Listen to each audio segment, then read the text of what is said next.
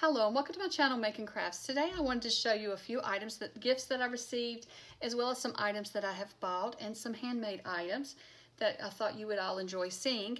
And so I, some of these I've had here for a little bit, but I'm just haven't had a chance to film and so I wanted to put it all in the same video. So first off I wanted to start out showing you some gifts that I recently received and these were made by a mother and daughter and they have made some wax seals for me and the mother made me this one and it's a bee. I don't know if you can see that. It's so adorable. And I'm to have a hard time using these or anything because I just really want to hold on to them. That's my problem. Sometimes I want to hold on to these things that I need to use in my journal. So I'll have to eventually add it to a journal. But maybe it'll be my personal journal that I add it to. And then here is another one that the daughter made me. And I hope I can get it on camera so you can see it. The lighting and it is another wax seal and it's it's just got so much detail. It's got a mountain and a moon and some trees and I just love these. And I have tried I've got one um, little stamp that you use with wax seals and I've tried I've not had any luck with them but I really love how how theirs turned out. I love the colors on both of them this is perfect colors for bees. It makes me think of honey and this is perfect for the night sky. So I wanted to show you those. And then the daughter she has started dyeing papers, and so she dyed me some papers here.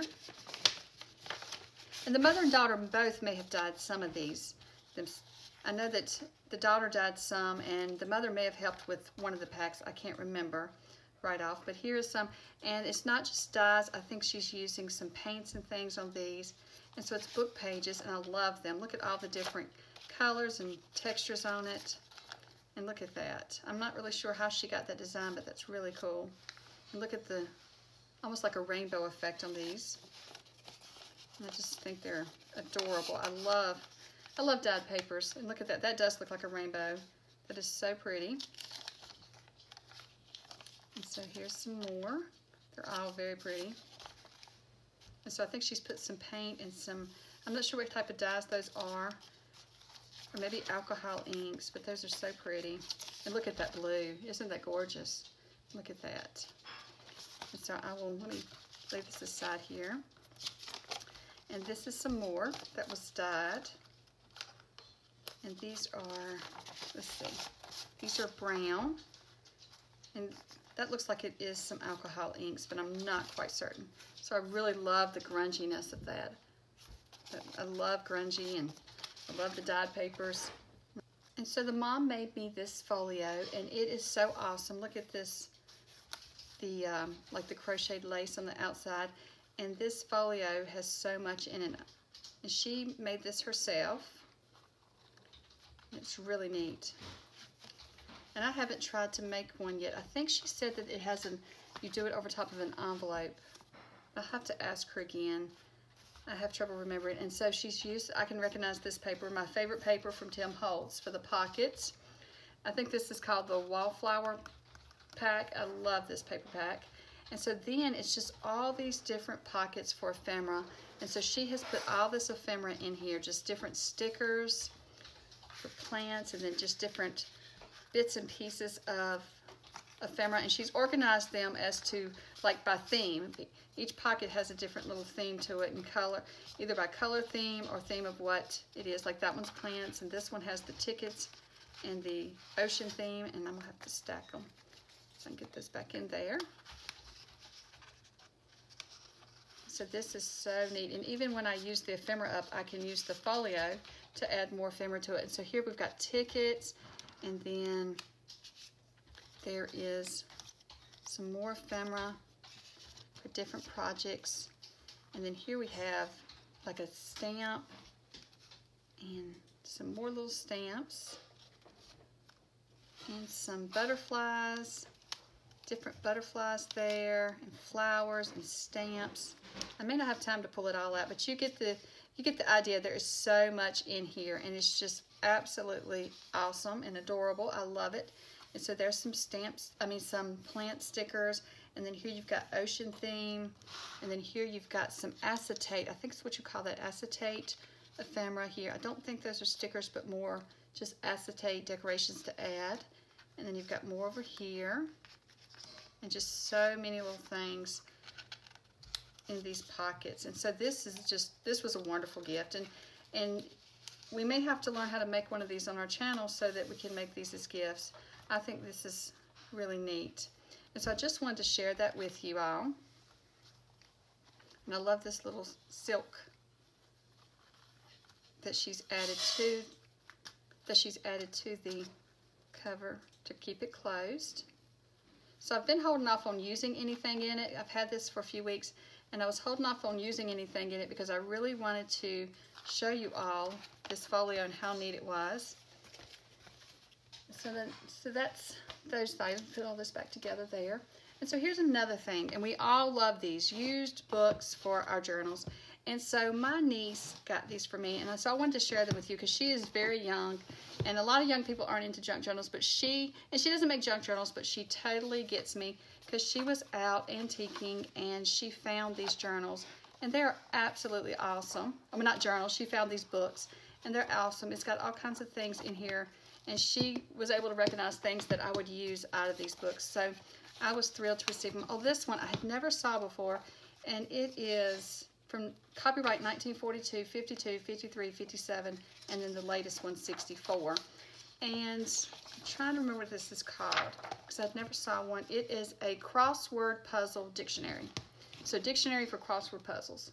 And I had never saw that, but it's got all these words in here. And so she had the idea that when she got it, that I could go through and cut out words and add them to my pages and into my different um, collages and clusters that I have. And I think that's an excellent idea because there's so many words you could just pick out different ones to cut out and to use in my journaling. So I absolutely love this little gift. And then she bought me a hymnal because I had been talking about using hymnals. And so this is really neat. So she, and I love the age on this too and the colors on the edge of the page. It's red. Let me see what how old this one is. This one's 1966. And so then she had the idea that you could cut out some of the, the um, poems and stuff in the back, the, what are they called? The, um, oh my goodness, the recitations, the, the little blessings here and things, and that you could just cut those out and use them on different pages. And so I thought that was a cool idea as well. So I really loved those. And so let's see, the next thing that I this one I actually ordered with from, and this one I'm going to link below to her. She doesn't have a shop that I know of. I just follow her on Instagram, and I follow her using my, my first account on Instagram is my Tenderbox, is my Tenderbox jewelry account, and that is for my jewelry shop, my jewelry and leather shop that I have on Etsy. And so that is my oldest account that I had.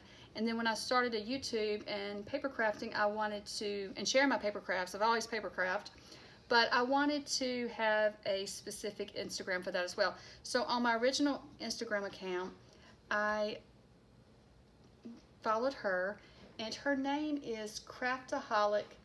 Let me see if I can say that again. I'm going to look over here because I had it ready for me because I want to be sure to get it right. She is the Craft Aholic Creations on Instagram. But I will put that in the comments below. I mean, in this description below. I will add that in the description below so that you can check out her page and then you can order from her page. That's how you do. You contact her on there and you can order. And she also puts, you can special order items like this, the clothing and stuff and which which bunny or which doll. She has dolls. She has little girls and little boys. And I think she even has bears and snowmen and different things. And so you can choose like the clothing and choose what you want. And then sometimes she just has some on there, I think, for sale that she's already made up. And so I wanted a little bunny because I like decorating with bunnies. And so I like the word blessed because she, this little bunny is sitting in my dining room on a little uh, wooden cake stand, tiara stand kind of thing. And so I chose, I had seen that she had made one like this before with this fabric, and I love this fabric. It's like a tea stain fabric. And isn't that adorable? I've never thought about tea staining fabric until she sent this and recently I tried it and I do enjoy tea staining fabric. And so I, you can ask what words you want on it. And so the little bow and the bunny ears. And so she's absolutely adorable. And this one I think measures about 12 inches. And so I just set her on that little tier tray in the dining room. But I think she makes, she makes, I know she makes smaller ones and larger ones in all different styles. And then she paints the little faces. Look how adorable that is. She paints those little faces and she hand letters that, which is, I do not have good handwriting, so I couldn't do that. I absolutely love that. And so I love the little vintage feel of this bunny, so that's why I chose her. And so I just wanted to share it with you because I think these would make great Christmas gifts. Christmas is coming up, and she has them for different seasons. And I'm also thinking I'm going to have to get me one to sit in my dining room for the fall, and then one for winter as well. And this one I had for spring and summer, and I just absolutely love her. So I just wanted to share that with you. And I will link below so that you can check out her Instagram account as well. And then the last thing is I went antiquing myself and I had never, the reason I'm sharing is because I had never thought about doing this until I saw another YouTuber sharing this. And so I thought, well, why not share it too, so just in case you had never thought. So when I went antiquing, the antique shop was shutting down.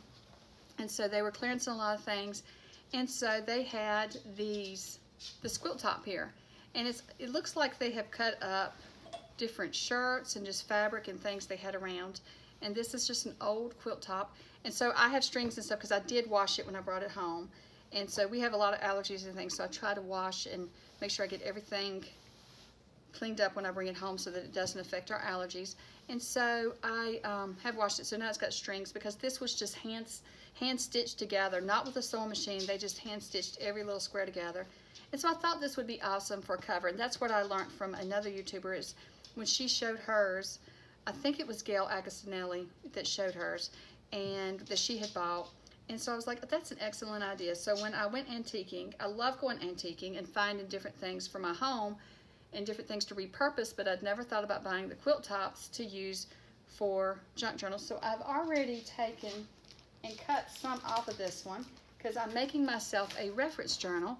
And so here is my reference journal that I haven't got too far in it. You can see it's very thin, but I'm using this as the cover and I've just added this. I think I've showed this in a video already because I had stamped on this fabric and then I added this to the cover. And so when I did wash it, some of the colors did fade, but I'm okay with that because I like the old feel of it. And so I, I really like how this, how it does. And I did not like, I could fussy cut around and decide which area I wanted. I just randomly cut off to make this little reference journal for myself. So I just thought I would share that with you. And this one is really big. I mean, it's a quilt top. It's big enough to fit a whole bed. So I thought I would share that. And then I found one more thing. So when I was out shopping, this is not an antique. This is new. I just found this remnant. And I really liked it. And the first thing I thought of was a junk journal cover. But now that I have it, I really love it. But I don't know. Do you see the, the like the sequence, how it shines and stuff? So now I'm trying to decide what should I use this on? What theme journal would you use this on? So comment below and let me know if for this fabric, what theme or do you know a digital kit that you've seen that would go really well with this? You can let me know below or let me know what theme or what style journal I should make using this fabric. So I think that's all I was going to show you today. So just be sure to comment below and let me know about this. If you have any ideas for it, how I should use it, what I should use it for, if you have another idea that I should use it for other than a journal cover, uh, let me know because I love making all kinds of crafts. So if you have any ideas, just let me know about that. And don't forget to like and subscribe. And thank you so much for watching, and I hope you have a great day. Bye.